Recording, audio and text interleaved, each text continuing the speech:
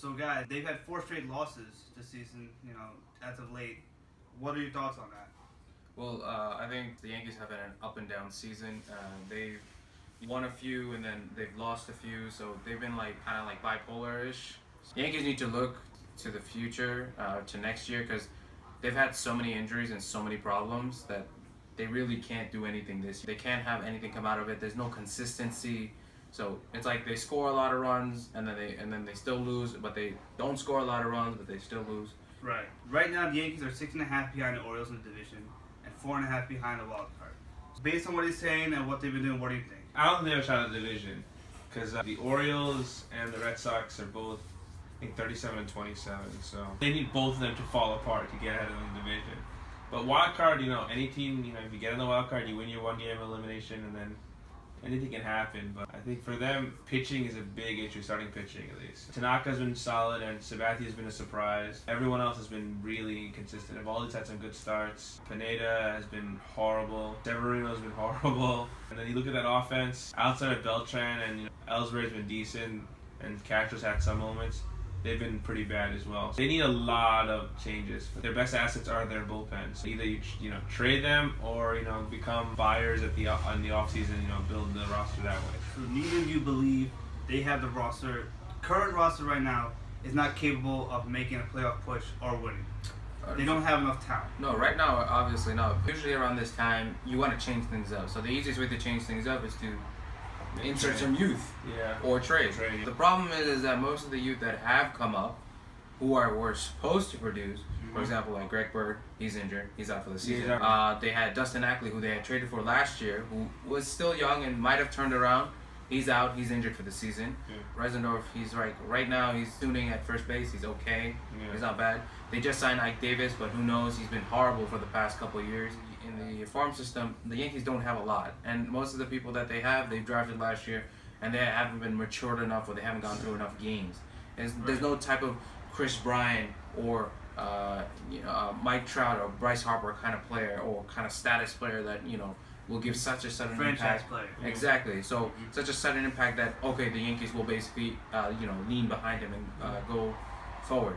The other problem is that injuries have basically torn apart the Yankees. It's like constantly when one person comes up, the other person that goes down, and then the next week later, that same person who came up goes down too. So something's going on. So they need to fix that issue. Okay, so under what are some possible trade targets that have been rumors, and as well that have not been rumors that you might think is a good idea?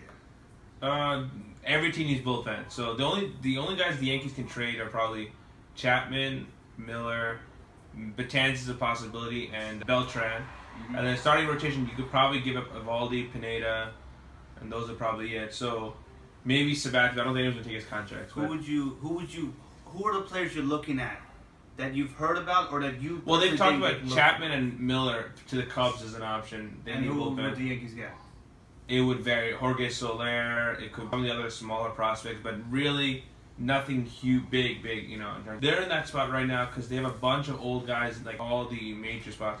Because uh, guys like Aaron Judge, Mateo, Bird, who's hurt now, all guys don't have a spot on the roster because Teixeira's playing first, Ellsbury, Beltran, Gardner are all playing the outfield, and then Headley's at third base. So some of their those spots, mechanic catcher, some of those spots are not open for these young guys to even get a chance to play, because you know those old guys have big contracts. They're not going to sit, you know, because they're stuck with all those guys, and then A Rod DHs, so you don't even have another spot to just let these guys bat. So, you know, now with five teams getting to the playoffs, they're always going to be in it. They're always going to win three or four games with that last wild card, so they can always get in. As we get closer to the deadline, we'll be a little more clear of where, what situation they're in.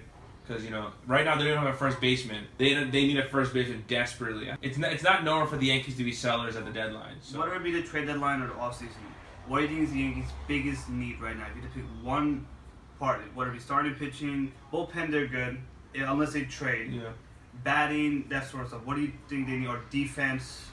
youth. Each they need talented youth youth. in general, so It's farm youth. system. Because Beltran is old, uh, A Rod is old, Teixeira is old, uh, Sabathia, McCann, uh, Ellsbury, Gardner, all those. That's like that's like 60 70 percent of your starting lineup, you know, roster. Flexibility, and we don't have it. The only guys, Gregorius and Castro, have been decent. They're the younger of the group.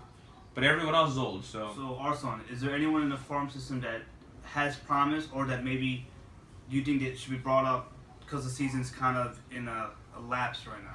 Actually, when I was uh, looking at last year, and the Yankees were really criticized during the offseason for not even signing a single player during the offseason. They were the only team throughout the major leagues who did not even sign a single player. That looked like to me that there was a sign that okay, we're going to give our youth the chance this upcoming season to basically try to get into the, uh, you know get some playing time, try to get some maturity in the major leagues.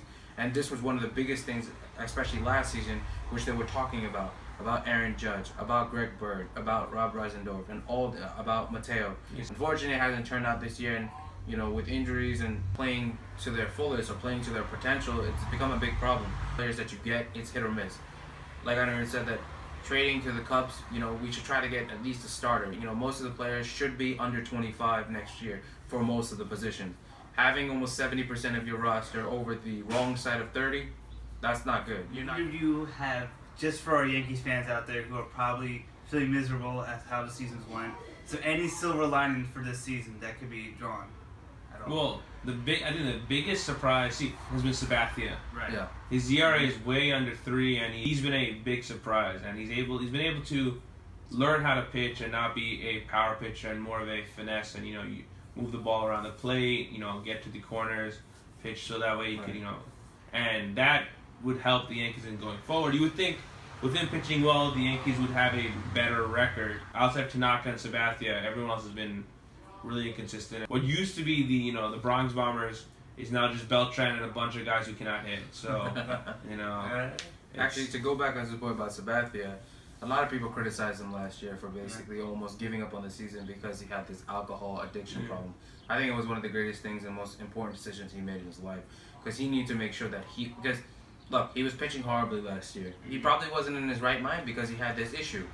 He went, he got treatment, and look how well he's doing. For the past two months, he's been the Yankees' best pitcher, Yeah. and he's the number five. He's perfect where he is. At least he's winning games, and at least make sure that you know, at least if he gets a good, healthy season this year, maybe he can work on some things and you know move up the you know rotation and Right. actually continue the work that he's doing because next year will probably be his last year. So um, I guess the last thing I want to just touch on is there's been a lot of criticism on Joe Girardi. He he has won a World Series, but he hasn't done much of his a late. Do you feel like they need to make a change there, or is he the guy to keep? Uh, personally, the biggest issue I have with Girardi is that he, he doesn't he doesn't trust his starters that much. There are too many instances where the guys pitch 60, 70 pitches and then he goes to that bullpen a little quick.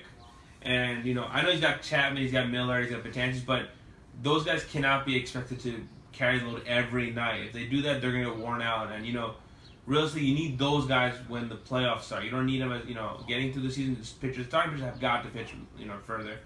And I think he's got to start sitting some of these guys. Like you know, if Brett Gardner, Ellsbury, or A Rod, any of these guys are not producing, you got to bench them.